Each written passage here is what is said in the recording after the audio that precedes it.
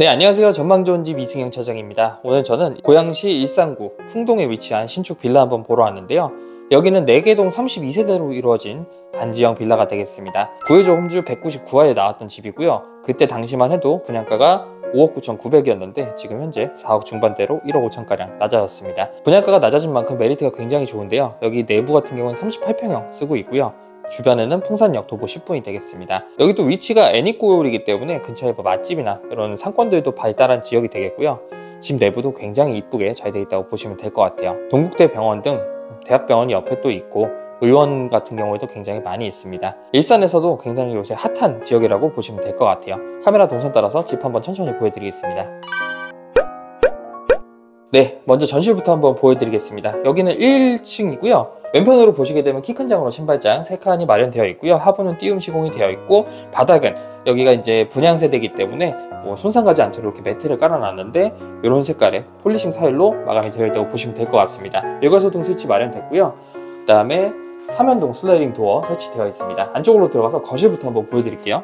네, 거실입니다. 거실 굉장히 넓게 나왔어요. 지금 40평대 아파트보다 넓은 거실을 자랑하고 있습니다. 지금 양창 구조로 되어 있고요. 이쪽은 남향, 이쪽은 서향으로 되어 있어서 오후에 햇살이 들어오는 모습 보실 수 있을 것 같아요. 위쪽에는 이렇게 시스템 에어컨 들어가 있고요. 공기순환기 설치가 되어 있습니다. 그 다음에 여기 살짝 비춰주시면은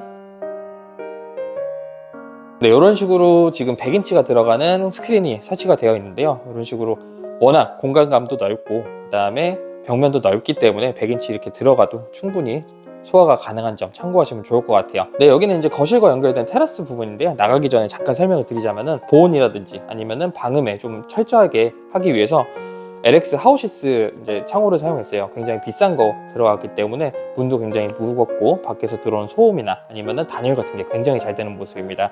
네, 외부 테라스로 한번 나와봤습니다. 정사각형 형태는 아니지만 크기가 워낙 크기 때문에 가운데 이제 바베큐 파티 충분히 하실 수 있는 그런 크기라고 보시면 될 것 같아요. 현재 이쪽에는 데크 작업이 되어 있고요. 이쪽에는 텃밭 같은 걸로 꾸미실 수 있도록 흙 처리가 되어 있습니다. 여기 같은 경우에는 저층에만 나와 있는 테라스라고 보시면 될 것 같고 위층에 올라가면 은이 테라스 면적만 없는 걸로 생각하시면 좋을 것 같아요. 여기는 테라스가 거실에도 하나 더 있기 때문에 그거는 자료화면으로 한번 간단하게 보여드리고 다음은 거실 옆에 있는 주방 한번 보여드릴게요.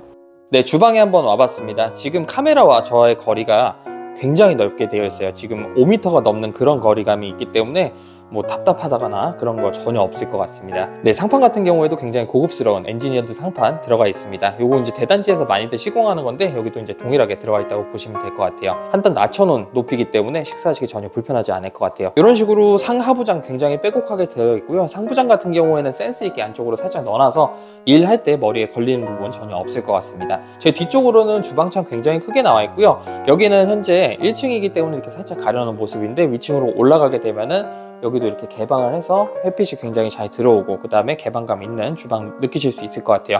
안쪽에도 물론 다 수납 공간 되어 있고요. 밥솥 자리, 전자레인지 자리까지 다 완료가 되어 있습니다.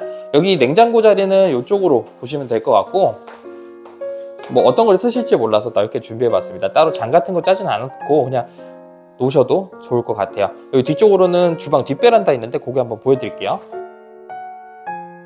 밑에 타일을 보시면은 요거 한 판이 60cm예요. 그렇기 때문에 120cm에서 30cm 더해서 160cm 정도 나오는 그 정도의 폭을 갖고 있고 3m 50 정도 나오는 그 정도의 길이를 갖고 있기 때문에 뭐 여기다 워시타 하나 설치해 두시고 벽면으로 수납장 같은 거 짜놓으시면 굉장히 넓게 쓰실 수 있을 것 같습니다.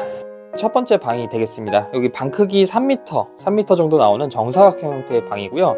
여기 가운데 이렇게 협탁이 놓여져 있는데 이렇게 꾸미셔도 되고 아니면 옆쪽으로 침대나 그 다음에 옷장, 그 다음에 책상 정도는 충분히 들어가는 그런 사이즈라고 보시면 될 것 같아요. 남양이기 때문에 뭐 채광 이런 거 걱정 안 하셔도 될 것 같고 그 다음에 모든 각방마다 온도 조절이 다 들어가 있습니다. 바닥 같은 경우에는 현재 여기가 이제 분양 사무실로 쓰고 있기 때문에 긁히는 거 방지를 위해서 카페트가 깔려 있는데요. 여기도 거실에서 보셨던 강마루가 그대로 깔려 있는 모습이 되겠습니다.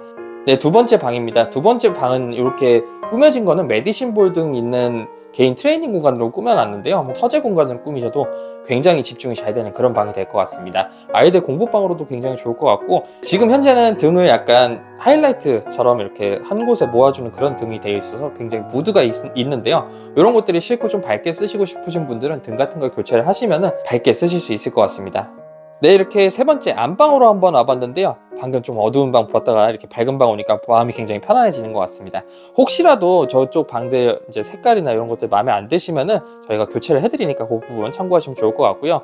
위쪽에 시스템 에어컨 여기도 마찬가지로 달려 있습니다. 여기 총 거실까지 4대가 설치가 되어 있고요. 네, 안방 크기 4.2m 정도나 되기 때문에 이렇게 침대 두 개 두시고 여유 있게 쓰실 수 있을 것 같아요. 이 안쪽으로는 드레스룸 공간이 있는데 드레스룸 공간 한번 보여드릴게요. 네, 드레스룸 공간입니다. 드레스룸 공간 자체가 크진 않지만 여기에 계절성 옷들 같은 경우는 충분히 보관 가능한 그런 사이즈고요. 현재 이렇게 디스플레이 되어 있는 상품은 옵션 상품으로 드리겠습니다. 그리고 이쪽에도 이렇게 창문이 나와 있기 때문에 전혀 뭐 옷방이라고 해서 어둡다거나 그런 느낌 전혀 없는 것 같아요. 다음은 부부 욕실 한번 보여드릴게요.